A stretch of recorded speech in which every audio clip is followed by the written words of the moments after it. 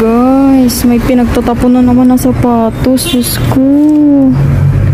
Anong size nito? Malaking size siguro to. 36? 36? Hala, kasya to sa akin. Oh my God, bago pa. Guys, so tingnan mo bago